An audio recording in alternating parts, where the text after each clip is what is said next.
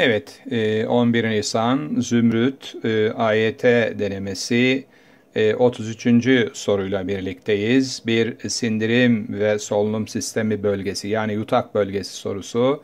Yutak bölgesi verilmiş, soluk borusu ve yemek borusu komşu, önde soluk borusu gırtlak, arkada yemek borusu, üstte epiglottis yani küçük dil diye bildiğimiz kısım. Arkadaşlar geçen denemelerimizde de çıktı. Küçük dilin görevi yutkunma anında soluk borusunun ağzını kapatmak yani gırtlağı kapatmak ki diğer adı zaten gırtlak kapağı olarak da geçer. Lokmaların akciğere, soluk borusuna gitmesini engellemektir. O yüzden epiglottis hangisini önler? Lokmanın soluk borusuna kaçmasını önler. Cevabımız gayet net. 34. sorumuz sevgili dostlar. İnsanda kanla, kan dokuyla ilgili bir e, efendim e, soru. Bu hafta Cuma gün bunu e, ya da öbür hafta işleyeceğiz derslerimizde.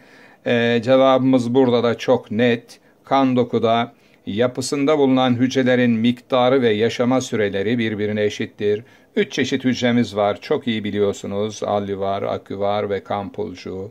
Alüvarlar 5 milyon civarında 1 milimetre küp kanda. Aküvarlar işte 5 bin ila 10 bin arasında, kan pulcuğu 100 bin ila 350 bin arasında değişir. Ömür alüvar 120 gün, aküvar bir hafta, kan pulcuğu bir hafta 10 gün arasında.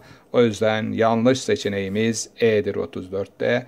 Diğer bilgilerin doğru olduğunu görüyoruz. İncelediğiniz zaman görev ve yapılarıyla alakalı. 35. sorumuz sevgili dostlar.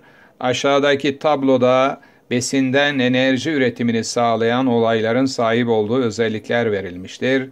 Numaralandırılmış olayların adlandırılması aşağıdakilerin hangisinde doğru olarak verilmiş? Ne var? Fermantasyon, o ikili solunum, o ikisiz solunum. Arkadaşlar bilmemiz gereken şey fermantasyonda ETS'nin olmaması. İki nolu olayda bakın ETS görev yapmıyor. O halde en önemli ayraç noktalarımızdan birisi, dönüm noktalarımızdan birisi iki nolu solunum fermantasyondur. Zaten iki tane seçeneğimiz var. Sonra oksijensiz solunum biliyorsunuz yeni nesil oksijensiz solunum eskiden e, daha farklı anlatılıyordu. Oksijensiz solunum prokaryotik hücrelerde gerçekleşiyor. E, ETS'leri var ama elektron oksijenin dışında bir efendim moleküle aktarılıyor. Püf noktası budur. O halde 3 de oksijensiz solunum. Geriye ne kaldı? Bir oksijenli solunum. Ökaryot hücrelerde gerçekleşebilir. Tabi prokaryotlerde de gerçekleşir. ETS'si var. ATP sentezi zaten üçünün ortak özelliğidir.